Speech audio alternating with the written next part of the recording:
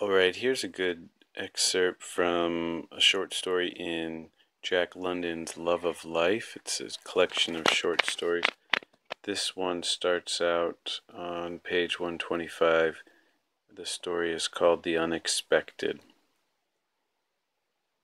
It is a simple matter to see the obvious, to do the expected. The tendency of the individual life is to be static rather than dynamic and this tendency is made into a propulsion by civilization, where the obvious only is seen, and the unexpected rarely happens.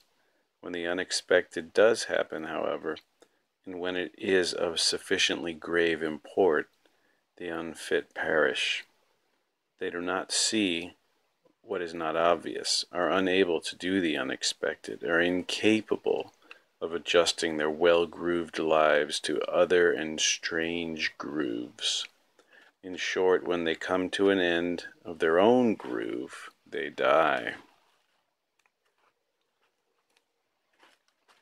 Life proceeds by a rule of thumb, and the unexpected is so very unexpected that when it happens, it is looked upon as an immorality. The effect of civilization is to impose human law upon environment until it becomes machine like in its regularity. The objectionable is eliminated and inevitable is foreseen.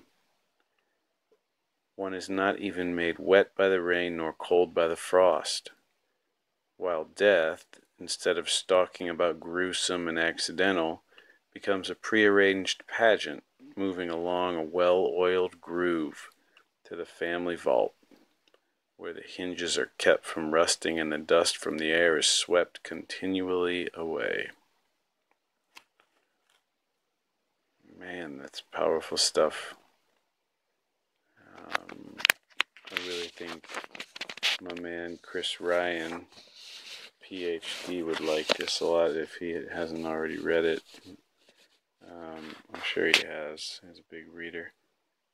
This idea that civilization has come along and set up grooves for us so we can just coast through our lives without thinking. This is not a new idea. This has been thought of pre internet, pre TV, pre radio.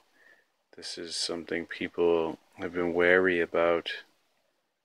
Um, I think that we have to fight to be individuals the the blob of civilization wants to suck us up and and combine us into the mass as it moves slowly th- through history, through time, and Jack London knew it too.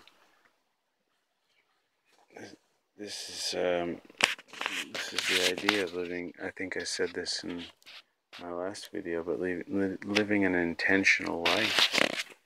You have to really think about uh, what you're going to do with your time every day. Um, have a plan and live with virtues that are your guns that you're going to stick to and um, make your choices based on those uh, and and make sure that you're not just taking the easy grooves, the easy track through life. Um, that's tantamount, isn't it?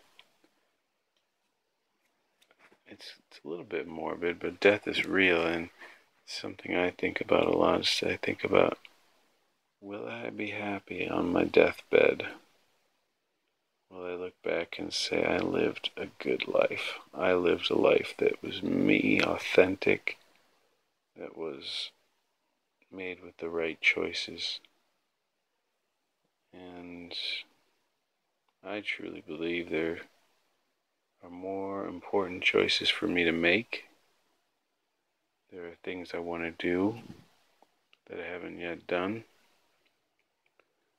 And sometimes I feel like, you know, as I approach those choices, I'm like a cat, sort of stalking its prey, waiting for that right time to pounce on my life, take it, take it more aggressively under my command. For the time being, I'm working. I've got my hobbies that I do think are authentic my running, my cooking. Cooking is oh fantastic. What a good balance with the running, barbecuing, smoking meats, making cheeses, pickling, cooking dishes, stews and chilies and bread. Oh, baking bread. Fantastic stuff. The desserts, the cookies that I'm making, brownies, fudge. It's all just like hearty food and uh, fantastic stuff. And meanwhile, I'm about 9% body fat, 40 years old. And it sounds like a brag, but and maybe it slightly is, but what it but it's it's important to me to have the, the health that I have and to enjoy the food that I do. And then to read and to to devour stories either either um, with my eyes or my ears or both at the videos. And that's very important. And then to create art which is something that I have hit the pause button on working on my own book. And I think it's time to start it again gotten 30,000 words in a little less than halfway. 80,000 is the, pretty much the goal. Get there and if I'm not satisfied with the plot to add some more but I think if I'm doing these things if you're out there listening and doing something similar you know your own path that is thoughtful intentional and isn't isn't simply uh, cruising along the grooves of life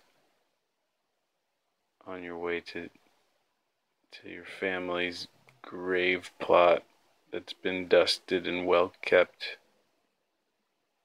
then uh, I wish you luck and I hope that that's going well.